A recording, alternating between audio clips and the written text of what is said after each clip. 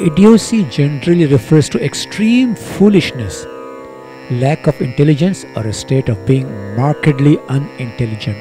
It's important to approach this term with sensitivity as it can be derogatory.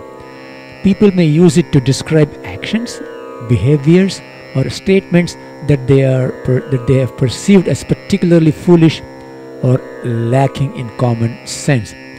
Some real life example of idiocy can vary widely, friends. Alright, and it's essential to remember that everyone makes mistakes or may exhibit less than ideal behavior at times.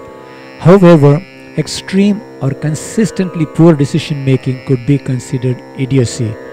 Here are a few examples, alright? Failure to follow safety guidelines. Ignoring warning signs and safety guidelines can be considered idiocy. For instance, not wearing a helmet while riding a motorcycle despite knowing the risks. Alright? Reckless financial decisions. Continuously making impulsive and financially irresponsible choices, such as accumulating massive debt due to unnecessary spending or risky investments.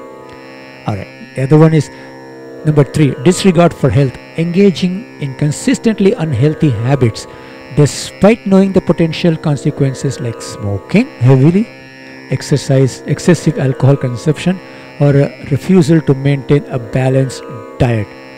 Alright. Number four is ignoring expert advice. Those rejecting professional advice or expert opinions without valid reasons, especially in areas where individuals lack knowledge or expertise. Alright, the next one is number five social insensitivity, making insensitive or offensive remarks without regard for the feelings or perspectives of others, demonstrating a lack of social awareness. Alright, it's crucial to approach discussions about idiocy with empathy and understanding, friends, recognizing that people may have different perspectives, experiences, and reasons for their actions. Labeling someone as idiotic without considering the context and underlying and underlying factors can perpetuate negativity and hinder constructive communication. All right, that was a little talk we had today.